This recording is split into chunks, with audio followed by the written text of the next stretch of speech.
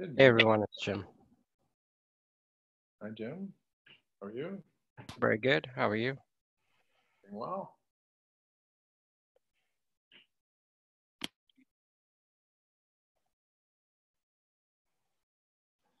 Good morning. Morning, Erica. How are you? Doing all right. How about you? Just another wonderful day in quarantine. Yep.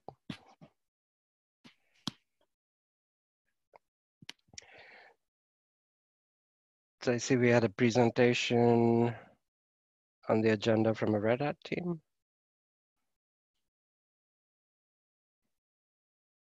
I was seeing that myself. I'm not sure who. Uh, Yeah, I added that. Uh, they reached out to me. Um, were directed from um, what's his name? Uh, anyway, they have a. It's from the IBM originally project, actually, the multi-cluster management or something. They have a policy component, and they were interested. Oh, in nice. Okay. And I and I said, yeah, come on by, and then asked if they wanted to present what their project was and how it relates to policy. Cool. Oh, which they're asking me about access. Does that sound like something I need to do? Zoom should be wide open. All Zoom, the only change Zoom has made recently is you have to kind of log in your Zoom account, which is just your personal account.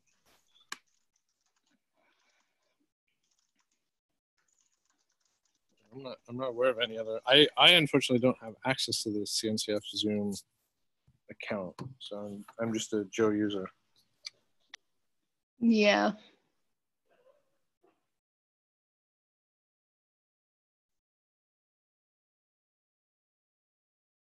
Let's see if that works.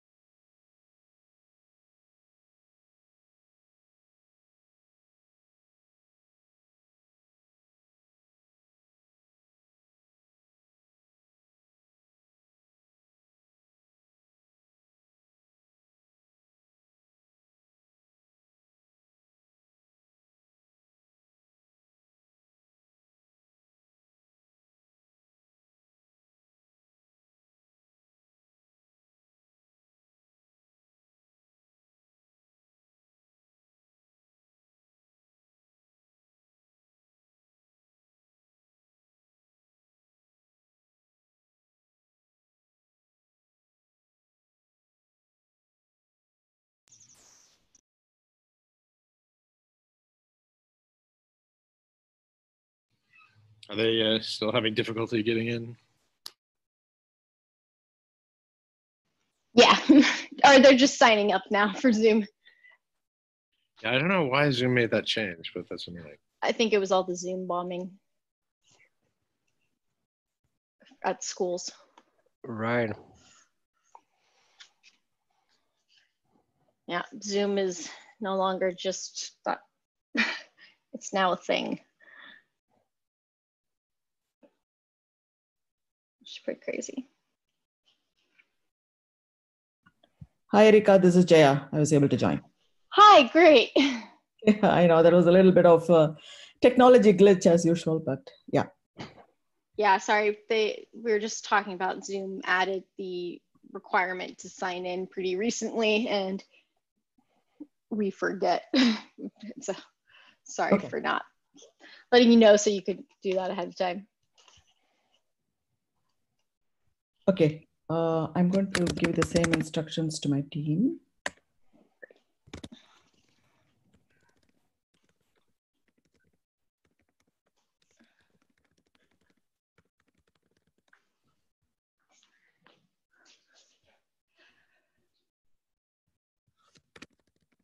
Okay, I think we have only half an hour, right? So okay, hopefully. I'll- Do we? I think we have the whole hour registered, but um, Okay, I mean, uh, we have other things to discuss. that's fine. That's fine. Yeah. So whenever whenever uh, you're ready for my topic, I think that's good. I think I have my team on the call, so I think you're good. Okay. Cool. Um, let's check the agenda. Or do we uh, make sure we see if we have any other little items? Hold on. All right. Awesome. Yeah. Uh, so if you want to introduce yourself and talk about, you know, project, um, or I'll hand it over to you. Awesome. Um, hi, everyone. Uh, thank you for the opportunity to present in this forum.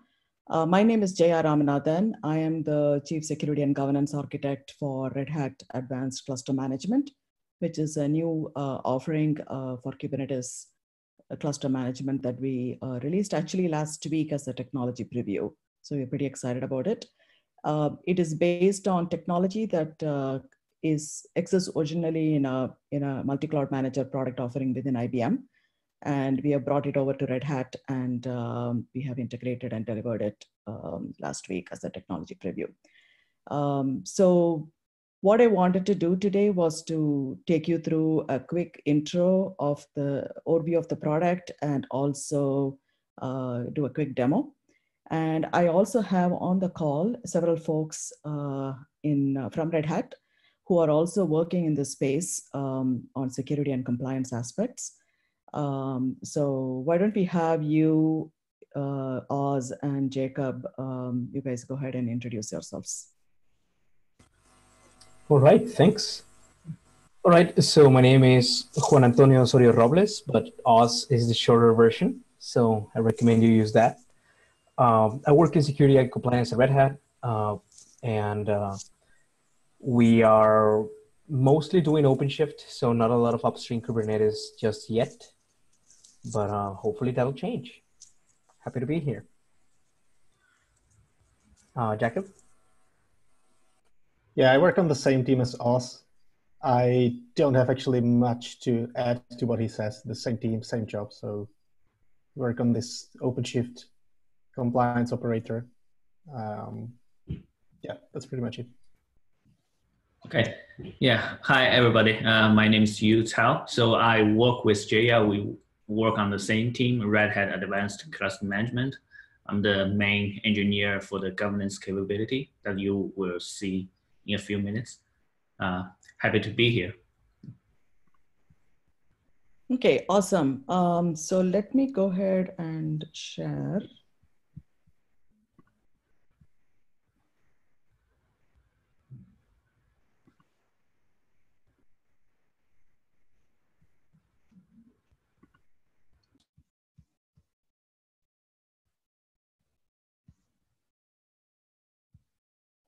Uh, let's see whether it works.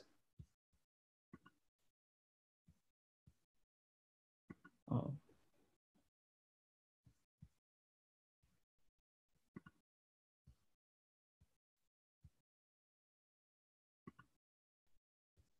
Okay, looks like uh, I will have to come back in because uh, sharing permission for Zoom is not in my enabled in my thing. So, uh, so let me go back. Uh, I'll come back in in a minute. Okay. Sure. Maybe while we have the minute, uh, since we're a small group, Robert and Jim, you want to introduce yourselves um, to the new people? I think the other people, they know me. Yeah, absolutely. Hi, everyone, and thanks for joining. I'm Jim Bugwadia from Nirmata, and have been working with this group on some structure and I guess common uh, machinery around policy management. So um, one of the open source projects that we lead is Kyverno, which is a policy engine for Kubernetes. And uh, a definition that we're proposing as part of this working group um, is to standardize or have some common way of reporting policy violations and also, you know, I guess policy execution reports, uh, which based on agenda we can, uh, and based on time, either we can discuss in this session or an upcoming session. Robert Ficcaglia. I've been uh, active in the CNCF SIG security group now for, gosh, it's been close to a year, uh, helping with the security assessment uh, activities around new CNCF projects, and uh, also active in this uh, policy work group as well. And uh, I also have recently started working with the Linux Foundation on Kubernetes training topics.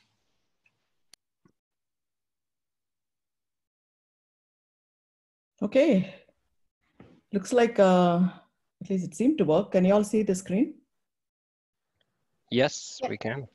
Yeah. Okay, good. So let me uh,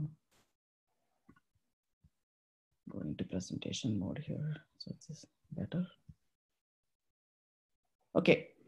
Uh, and I assume you can also hear me. So let's go ahead and start. Um, so basically, um, the topic I'm going to be covering today is uh, governance capabilities that we have within the Red Hat uh, Advanced Cluster Management offering. And it is also part of the Open Cluster Management Community Project.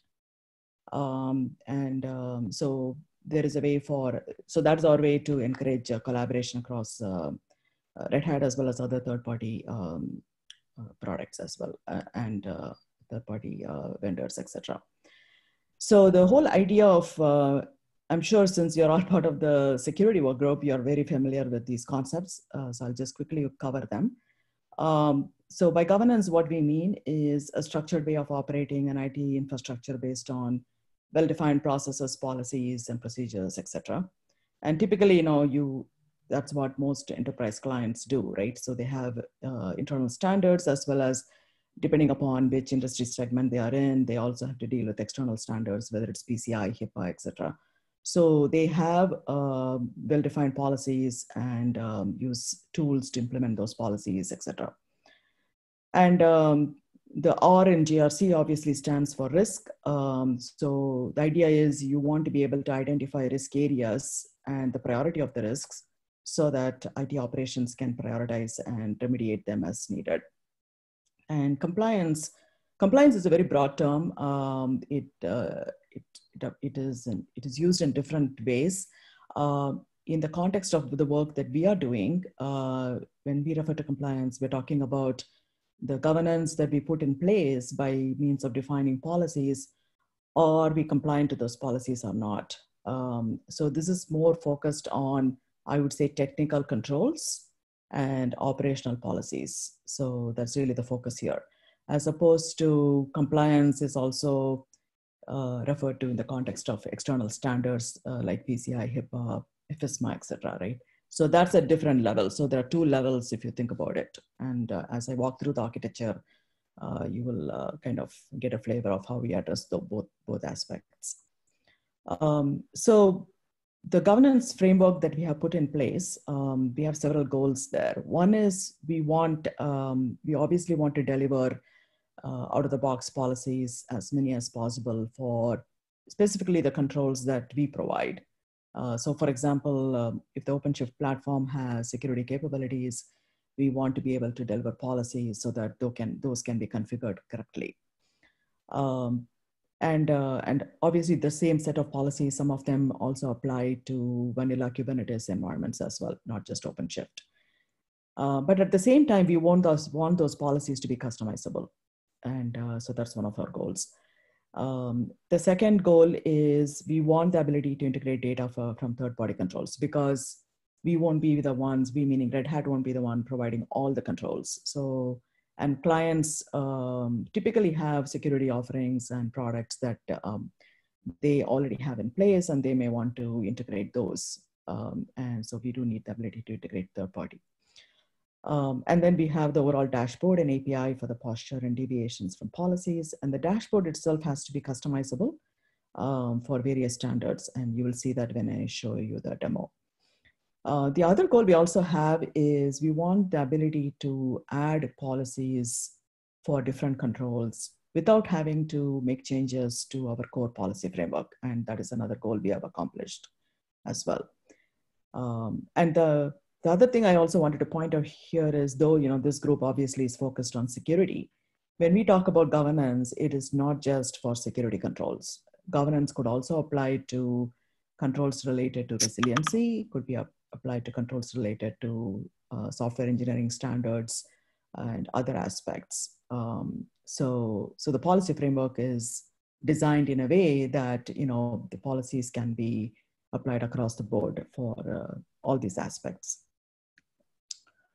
So this is the overall gov governance architecture that we have. So if I start on the right-hand side, uh, we have uh, three different ways in which you can incorporate policies into, into this architecture. The first is uh, using this governance uh, dashboard UI. So we have a policy UI, you'll see that in the demo. And you can go and create policies there and, uh, and then bind them to clusters where they apply uh, using our placement policy. And uh, so that's possible. You can also author policies um, using YAML and then import them using our CLI. Um, and you can also use this mechanism called subscription um, which is another concept we have within RHACM. And the subscription allows you to tie uh, a particular uh, store, in this case, I'm showing GitHub, um, where policies could reside, the YAML files. And then you can basically establish a channel for the subscription to go and retrieve the policies from GitHub. For example, it could also be an object store or some other repository.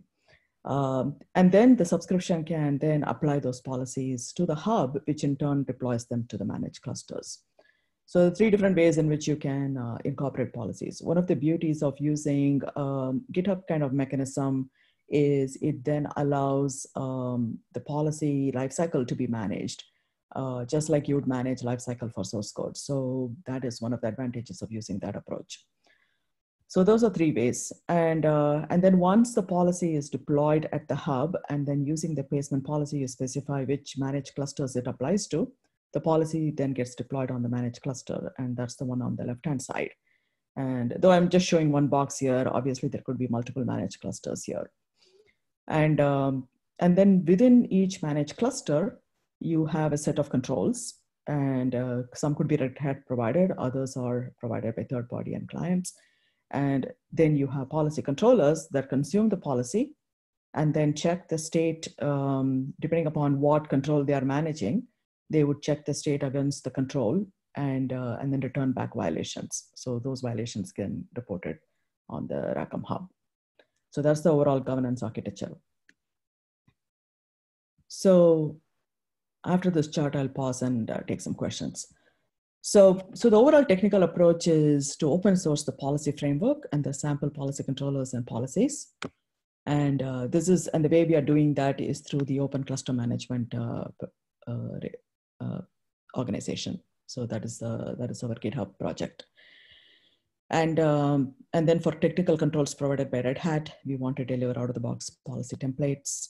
And, um, and then within each policy, there are uh, annotations that allow you to specify the standards, controls, and category. So for example, you could imagine um, a client, enterprise client who is in the healthcare industry, uh, they have to deal with HIPAA. They also have to deal with FISMA if they're interacting with Medicare and so on and the federal government.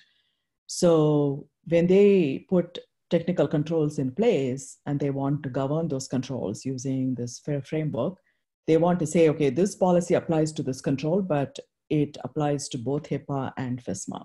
So that is what these customizable annotations allow you to do. So this way, you know, they can get um, an overall posture view uh, for various compliance standards. And, um, and this allows uh, them to continuously monitor the security and audit posture.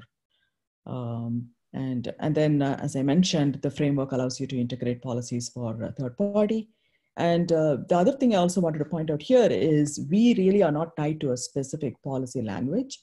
Um, so the way uh, when you see our YAML file, you will see that the specification for the policy for the control is actually wrapped by additional pieces that allows RHACM to actually ship the policy to the managed clusters. but the actual policy itself could be, for example, written in OPA, it could be written in any other language. Um, so in fact, Yu who is on the call here with me uh, has authored a paper that uh, shows how you can integrate OPA policies into this framework. Let me pause. Jay, one yeah. quick question there. Yeah, so just on that uh, topic, and you know, we've been kind of discussing different policy frameworks and engines. So, but what is the native, you said with the best practice policies that you would provide, uh, what is the native engine used for that? Uh, so, so the way, um, it's basically our policy framework. Um, so one of the things is we support any policies for Kubernetes objects. So as long as you have a spec for a Kubernetes object, we can manage that. So that is one example, right? So we have a configuration policy controller that can manage uh, configuration for various Kubernetes resources.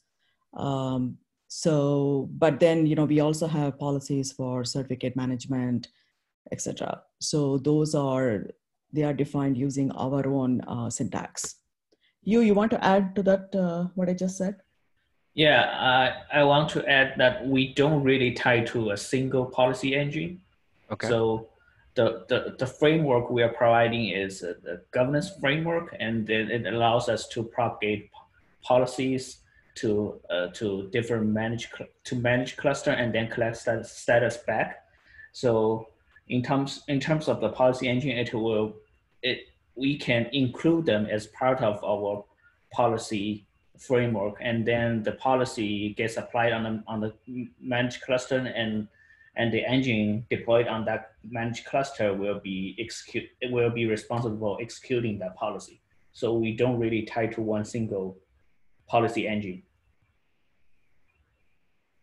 Okay, and do you and these policies can act as admission controls or as you know sort of um, runtime policies? Do you support both modes or?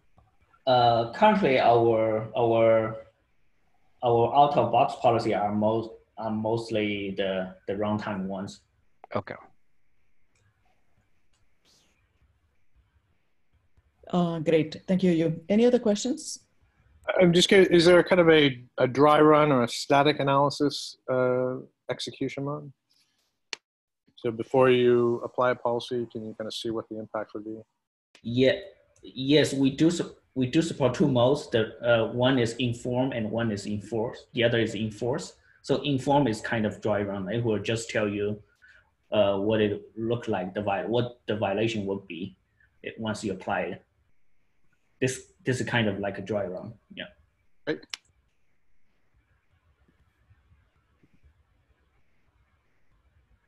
Okay. Uh, I just have a couple more charts and then I'll switch to demo mode. Um, so this uh, kind of um, summarizes the governance lifecycle. Uh, so basically policies are created, as I mentioned, three different mechanisms and uh, they can be propagated to the managed clusters using our placement. Um, one of the things uh, with respect to the placement uh, policy is you can, for example, assign labels to the various managed clusters. So you could designate certain clusters as dev, certain clusters as prod, etc. And then the placement is uh, you can either um, place a policy based on the label, or you can place a policy on a specific cluster, etc. So, so it's pretty flexible in terms of how you uh, determine, you know, which uh, clusters the policies apply to. Um, and then uh, the policy controllers are deployed on the managed clusters. So the out-of-the-box policy controllers that we provide, um, they are auto-deployed on the managed clusters uh, when a cluster is either imported or created using RHACM. Uh, but other policy controllers uh, obviously can be deployed um, later. So that's fine.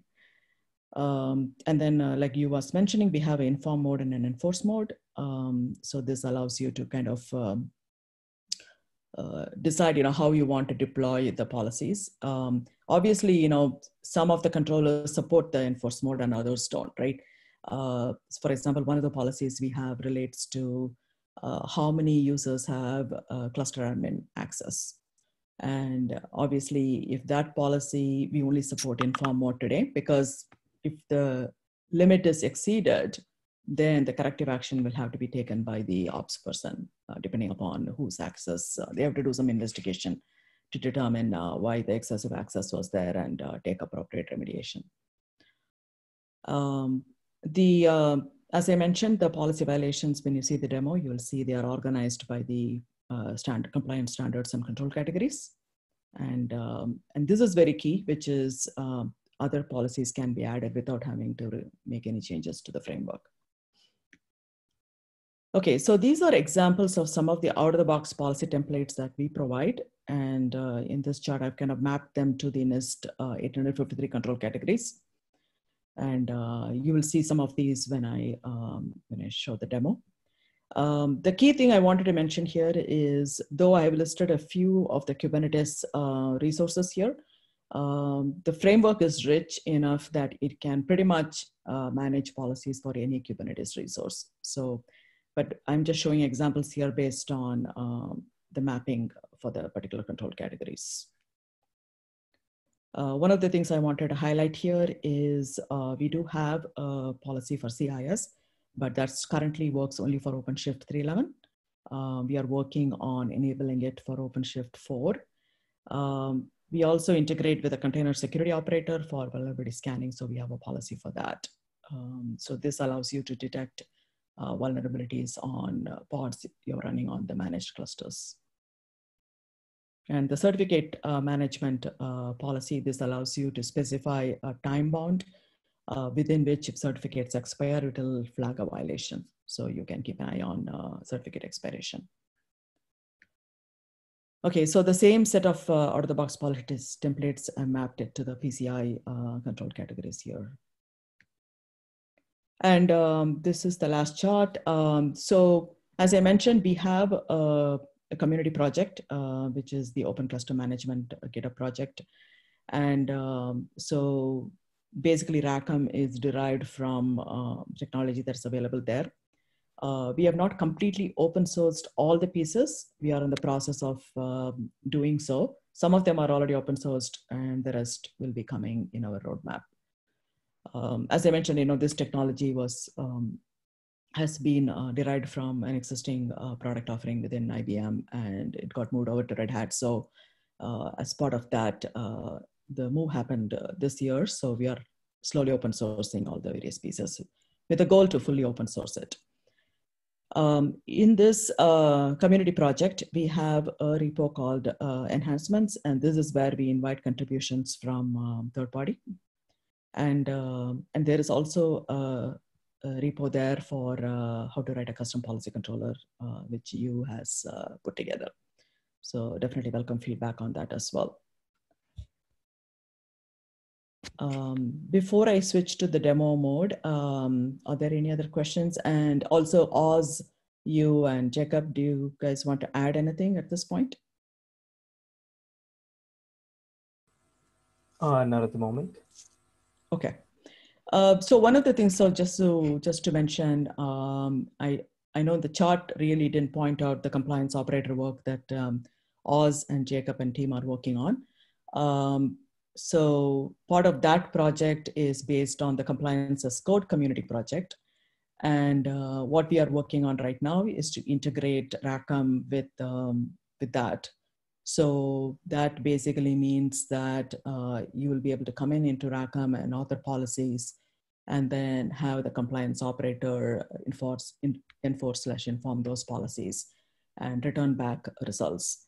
Um, the the difference between the policies that we have uh, and the policies that we would author for the compliance operator is the two levels that I talked about, which is the current policies that we have are all based on uh, for specific controls and their operational policies. Whereas for the compliance operator, we'll be authoring, um, uh, think of it as a policy profile that actually specifies a set of rules for multiple controls. Um, and the policy profile could be, for example, for FISMA or PCI or things like that. So that's the concept we are going to be introducing. So this will then allow you to layer uh, the compliance slash policy profile on top of the operational policies so that you can then answer questions such as, is this cluster operating to PCI readiness? is this cluster operating to HIPAA readiness? And you will kind of be able to say that, uh, I'll take the example of PCI. Um, you'll be able to say, okay, there are 12 controls for PCI. You have uh, governance enabled for maybe five of the 12 controls. And then for each of those five controls, here, here are the policies you have deployed, and here is the current posture. So this way, an enterprise client who is in the financial industry will be able to then tell how their uh, cluster is operating to that particular standard. Um, the other thing I also wanted to point out is the, the policy framework that we have here. Um, as I mentioned in the first uh, chart, uh, we want this applied end-to-end across the entire hardware and software stack. So um, the idea here is that it can, though Red Hat is going to be delivering policies for Kubernetes clusters, uh, the same framework can be used to bridge, for example, to Ansible and then manage policies for VM layer as well. And, and also, you know, middleware layers. So, um, and we have some prototypes that IBM research has done that kind of show that that's possible. So, uh, and again, done with no changes to our policy framework. So this framework is pretty rich. And um, so that's kind of the intent here is to apply it across the entire stack. Okay, so let me go to demo mode. Um, so you all can see the screen of the demo, right? Yes. Okay, so this is our uh, Red Hat Advanced Cluster Management for Kubernetes. Also, we refer to it as RHACM, um, which is just an acronym. Um, so this is the console. And um, so if you go to the console, um, it actually supports three life cycles. Um, the first life cycle is cluster life cycle. So you can actually come in and you can import clusters and um, or you can create a cluster.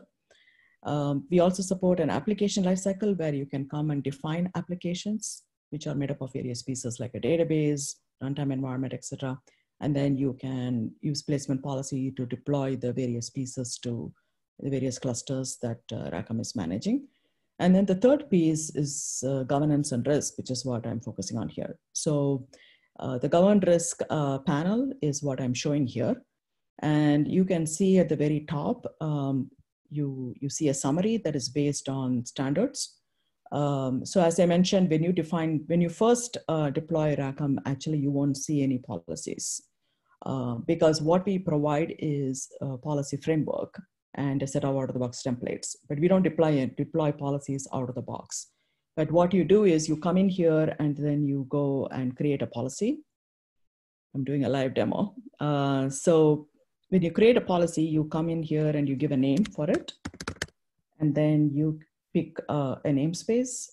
Now the namespace here is the namespace on the RHACM Hub where the policy is um, stored. And um, what is what this means is it allows you to um, assign different users access to different namespaces based on Kubernetes RBAC and allows you to segregate policies into different um, stores, different namespaces. So an example uh, use case of this is if a client has, a customer has deployed a cluster and they want to share it across multiple departments and they want to have different policies deployed for the clusters.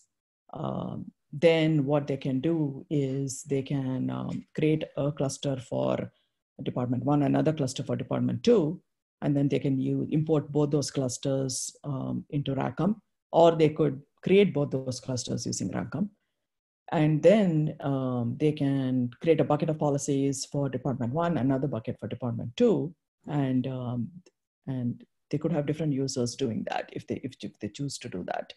And um, this is the, using this namespace on the hub, you can enforce the RBAC. That's what this is doing. This doesn't represent the namespace on which the policy is deployed on the managed cluster. That is actually specified within the policy file itself. Okay. And then you can choose one of the out of the box templates that we support. And uh, this is the specification here. So as you can see, we have a policy for certificate expiration, one for CIS, and we have a IAM policy for, for the limits. Uh, we also have a policy for image vulnerability, And then we have a set of policies all based on Kubernetes objects um, that uh, for which we provide out of the box templates. Um, so I'm going to choose the certificate expiration as an example. So then when you select the particular uh, template here, the YAML file automatically gets populated on here.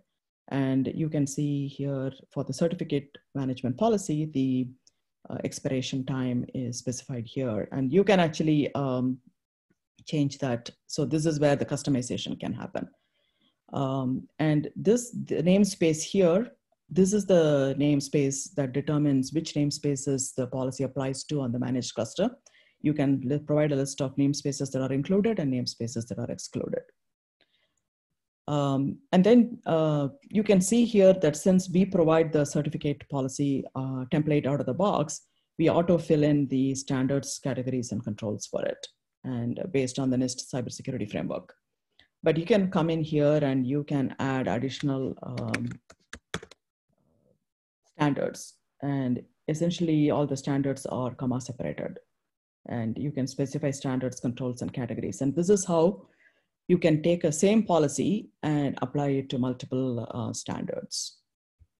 Um, and then you can come and click here whether you want to enforce the policy if supported. So this is something, you know, you kind of have to check whether um, our out-of-the-box template supports enforce or not. And if it does, then you can uh, click that here.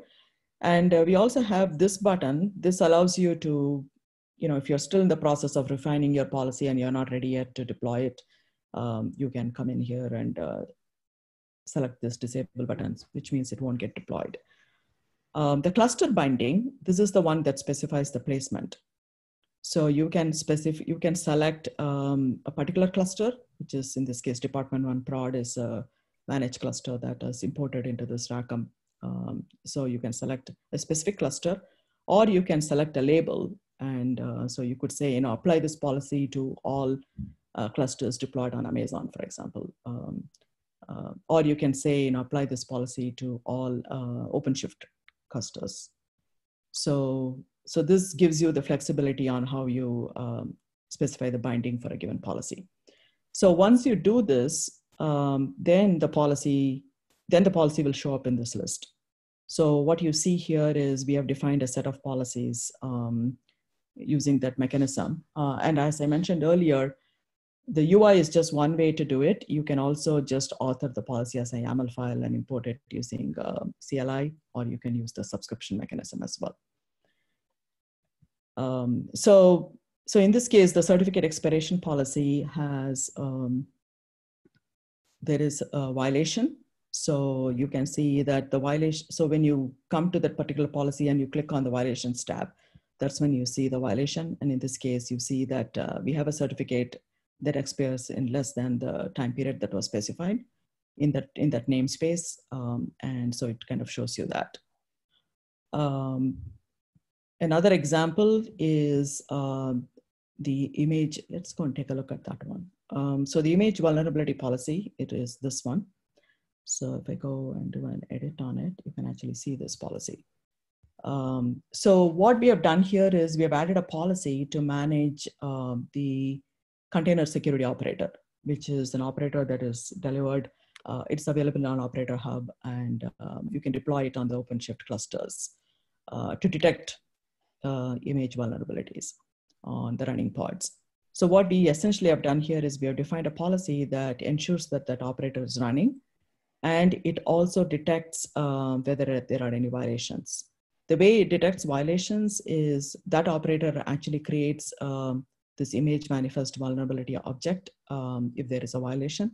So we have defined a policy, we have defined um, in this YAML that um, there shouldn't be any uh, such objects existing. So if the subject objects exist, then we know that there is a vulnerability. And um, so, so that's what you're seeing here, where uh, it's basically saying that there is a violation. So when there is a violation, um, let's see, it should be showing the object name. Skip a minute here.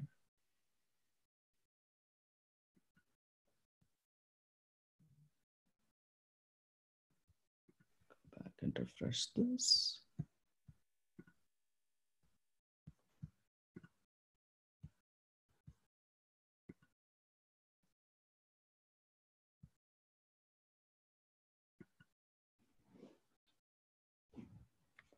Okay, um, maybe you can help here. But um, typically what you see here is a message that shows the uh, object uh, ID.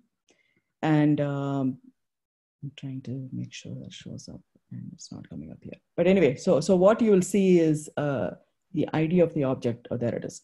Um, there always has to be a demo glitch. Um, so, so what it shows here is this ID. So then what you can do is you can go to the OpenShift um, uh, console for the particular uh, managed cluster. And you can go and look for that particular um, object by searching it under this uh, custom resource definition. And, um, and, and then when you go into the details of that object, um, you will act, you can actually look at the violation details. So essentially what we are doing here is the container security operator is running on the managed cluster. We are using RHACM to define a policy that detects, um, first make sure it runs, and then secondly, um, if, if that, that operator detects any vulnerabilities, in which case it'll create those uh, custom uh, resource uh, objects for the image um, manifest vulnerability type then it will show up as a violation on RHACM. And then that'll then give you the ID. Uh, you can then drill down using the OpenShift console to get the details of the violations. So the compliance operator work that Oz and Jacob and team are working on, we are going to be doing a similar integration with RHACM um, so that you know you can define a policy for it using RHACM, and then the compliance operator will then enforce that uh, or enforce slash inform that policy and then return back uh, violation results.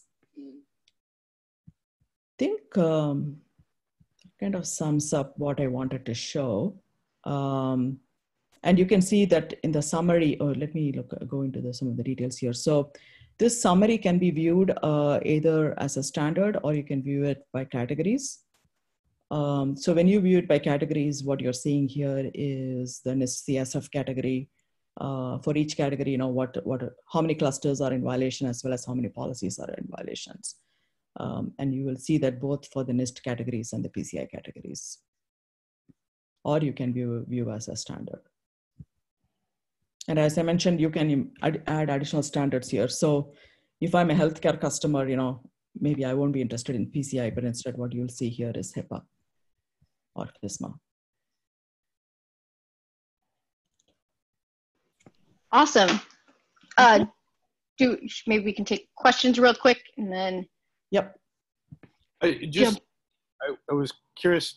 I may have missed it. Did you say that the the policy violation results are uh, a custom resource, or there or there's some other uh, persisted data? Yeah. So that is really the nice segue, right? Um, the custom resource that I showed you, uh, that is just for the container security operator.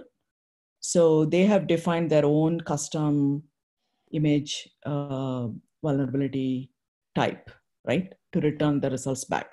One of the things, the reason I, I'm coming to this forum, or we are coming to this forum, is because we want to collaborate with you all to define a more standard way to return compliance results, right? Um, that applies not just to one control, but it also applies to multiple controls and also have a way to do that um, uh, so that you know we can slice and dice for standards controls and categories as well right? So so we don't have a standard definition yet and i know that this work group has been working on uh, such a definition. So what we really wanted to do was to contribute to that and uh, implement that standard. Yeah that is a good segue, and definitely we can you know kind of dive into some details on that. Um, so one one other question I had though on the demo, and uh, so when you were going through, so you know the policy definition, it had something about uh, enforce if available, or uh, there was a label like that. So what does that uh, map to? And you know, so I guess going back to also to my earlier question on the um, on the runtime versus admission control, if some of these are applied as runtime policies, for example, um, if you're checking for things like you know resource quotas, etc., how would those be enforced at runtime? Yeah, so the enforce, if available, as I mentioned, not every policy can be enforced easily, right? Some can be, um, and others are more a little more complicated. So, so that's why you know, if available, basically means um, the whoever is deploying the creating and deploying the policies have to check whether this particular policy supports it or not. Right okay. now, it right, and then if it is if it's supported, then they can enable it um, but we don't uh, we don't today support it for all the policies. Okay, and if it's supported, it's again in the context of runtime definitions. What would that mean to a workload? So let's say I deploy a workload uh, in in a cluster and it's not compliant to a policy. What would enforcement mean? It will actually, um, depending upon what you specified in the YAML file, it will revert the cluster to what was specified there. So for example, uh, you what would be a good example we could use to uh, illustrate that? Which policy can I use? Let me uh, share again.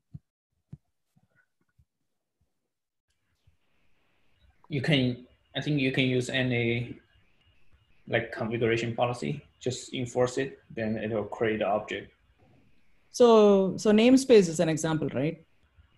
Um, in fact, uh, let's see here. If I look at this namespace policy, one second.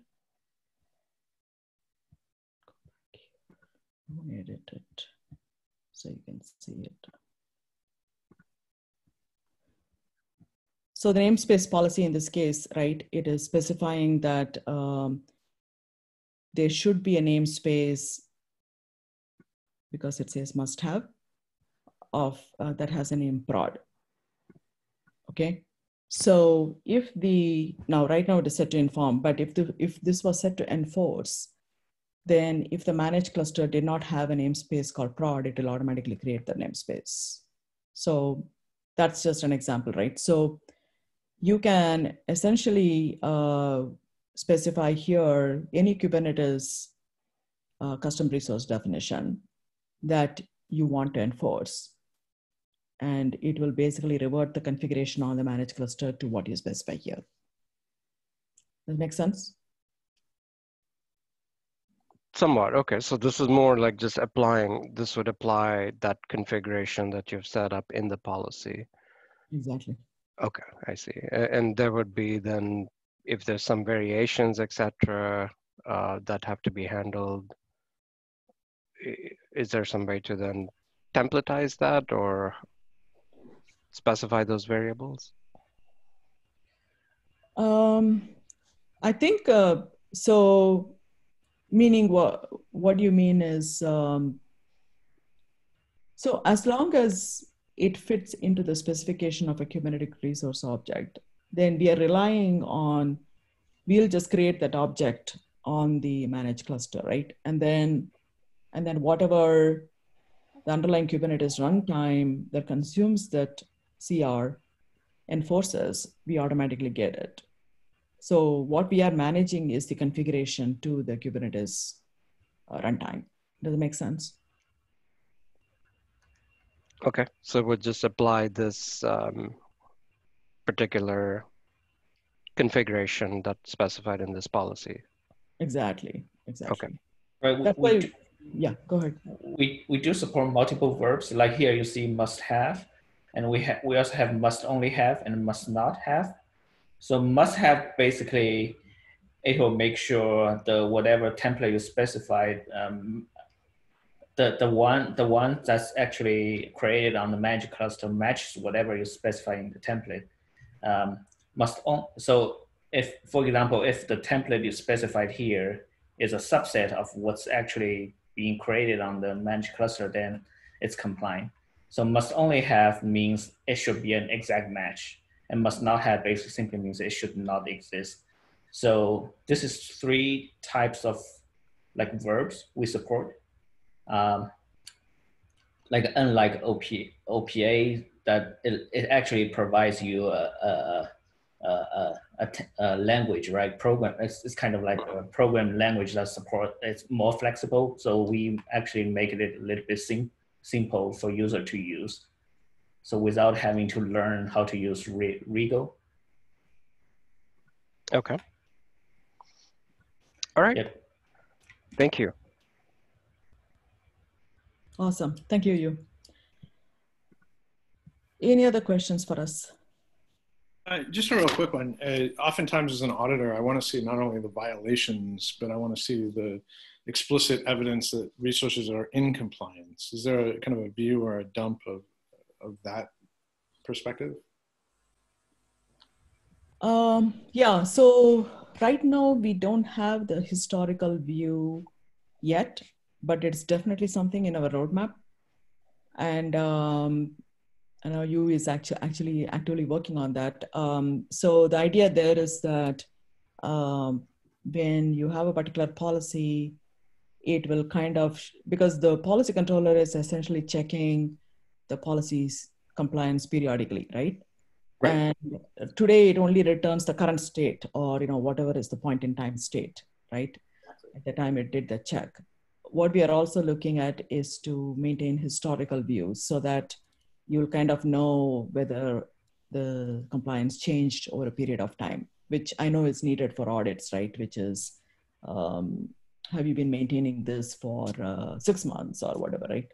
So I think uh, that is definitely in our roadmap, and we understand that is needed. And and the other thing we're also looking at is further more more details, right? Um, as opposed to just saying uh, compliant and non-compliant, being able to have some additional details on um, the policy itself, etc., uh, which are all needed for audits. So, so the audit evidence collection is something we will look at uh, in our roadmap as well. But our initial focus is more on ensuring that the clusters are configured properly, right, for best practices and um, providing that visible visibility view. So that's the first. Then we want to get to historical stuff and then thirdly get into more of the audit um, evidence collection.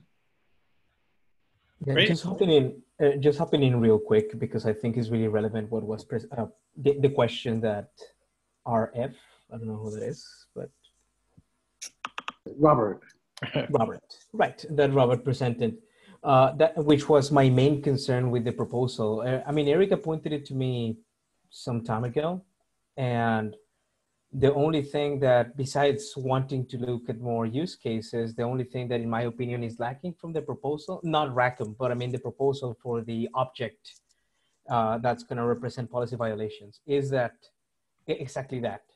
A lot of times, you don't really care about just the uh, what failed in a policy, but there's more states to it right? Usually you have like an informational warning or informational uh, message. Oftentimes we will have that the policy passed and so on. So the way that we went around this, I mean, we have uh, yet another operator that does policies and like I could maybe in the next weeks explain about it because it's it's its own separate thing. But uh, the way that we addressed it is by having something called the compliance check result, and that contains uh, both the severity of the check, uh, the uh, what do we have? Severity, the status if it passed, fail, errored out, was not checked, was skipped, and uh, and I don't remember exactly how many states do we have, but uh, I mean I could present actually what we have real quick. Let's see if I can share my screen. Uh, desktop. Uh, there you go. Share just something super quick. Uh, do you see my screen? Yep. Yes, we do. Oh yeah, sorry about that. Gonna remove this one and there we go. So OC get uh, compliance check results. So I, I ran, I was working on this and I ran a scan and it's just gonna tell me everything that happened for the cluster, right? So uh, audit rules are failing in this cluster. Some uh, audit deconfiguration is passing and so on. Ultimately, what I do want is to know what failed. So I can see that effectively. Uh, in this case, maybe I want to check this specific rule. Ah, in YAML format, please. Thank you. and this is basically what we have currently, right? The severity, uh, status, uh, what was the suite? We have a concept of compliance suites that run a bunch of checks. What was the suite that triggers this check? Uh, it has a name. Uh, what else does it have? Yeah, that's basically its severity, status, some identification that is gonna appear in your compliance document or your audit results and a description of what was done there right? So that having something like this would be really useful. We could easily just migrate to whatever you guys have but ultimately it's something a bit more flexible than just violations. Right. Yeah so there is um not sure if you got a chance to see this Oz, but there is a new version of a proposal i just shared on the channel as well as i put a link in the agenda um, oh. which could you, share the agenda because i didn't get that link somehow yeah, I can, and I'll share the link again too. Um, just to kind of quickly show what, so this is more like taking into, so I started updating the other document, but then figured it was just easier to write a new one because there were just too many different comments and changes to manage in, in the Google Doc. So this proposal um, takes so some of the main comments we got in addition to what you mentioned to provide a way to, um, you know, not just capture the violations, but even the uh, results in terms of which policies were applied, what time, things like that.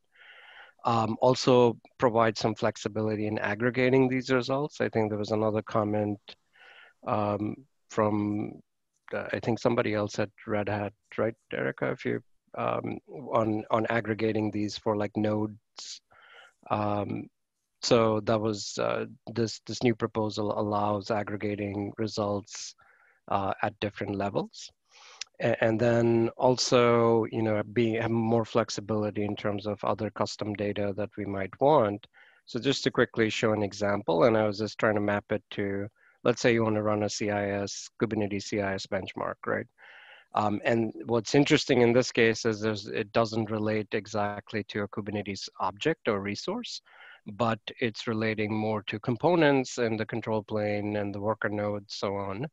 Uh, but the idea here would be to keep this reporting mechanism flexible enough to cover that, as well as I took another example. This is more for a workload like uh, from Kyverno, where we're just reporting failures uh, for pod security, right? So again, the, the, we're just showing a failure here, but the idea could be that you could also add success results like which checks actually passed. And for each you would have like a pass fail warn info uh, and we can customize the categories. So anyways i know we're coming up on time but um, would be great if you want to take a look and we can uh, you know exchange ideas on either the slack or uh, if we want to set up even a separate meeting before our next uh, biweekly meeting happy to do that because I think this would be good to hammer out and come up with something which is flexible and reusable. Um, yeah, for from different frameworks. All right, that sounds a bit more like what we were looking for. So I'm going to take a look at that and comment as soon as possible. Thank you so much. Because we're running low on time, um, and if we do have a lot to discuss, we used to meet meet meet weekly, and then we moved every two weeks. Should we move back to weekly while we have lots of agenda items? Since we kind of ran out of time today. Thoughts, or is two weeks okay? Are we not that rushed? So I think if we can, you know, just maybe get get comments and make progress even outside of these meetings, that may okay. be better, right? Because um, breakouts on Slack or something. every two weeks is a good rhythm to kind of aggregate those sessions. Right. Okay. Yep. I think that sounds great. Yes, yeah. I posted the link here, and you know, again, like in the Slack channel, I'll also add the link again to, and the agenda uh, uh, for the meeting has that. So definitely, let's uh, let's discuss more, and then uh, maybe by the time we have the next biweekly meeting, we'll have a more uh, sort of uh, finalized version, and we can even draft up a CRD for it. Uh. Sounds great. Uh, could you, uh, Jayeshi, could you add links to your project in the uh, agenda notes And if you have, if the slides are public, that'd be great too. Uh, I linked to the agenda in the group chat. Okay, did you? Yeah, there I see it. I'll do that. Thank you. All right, I'm super excited to see the, po- or do we change the name now? It's policy report. right, because it's no longer just violation. So, um, yeah, and if there's suggestions for better names, of course, we could uh, augment that. Although it's policy, we need to make it sound very bland and Right. bureaucratic. No, this is, I'm really excited. Um, again, you know, uh, glad to get hooked up into this um, work group. And uh, I think the work is very timely because we are trying to, like I said, integrate this um, compliance operator and RHACM together. And uh, this is something we have to do. So it'll be great to make it a standard. So, you know, we're not Right. doing in proprietary. So it's, it's great. Absolutely. Sounds good. Thank you for the presentation. That was awesome. Well, thank you very much. Thank you, Jim. Thanks, everyone. See All right. ya in two Take weeks' care. time. Bye. Thank you. Bye-bye. Bye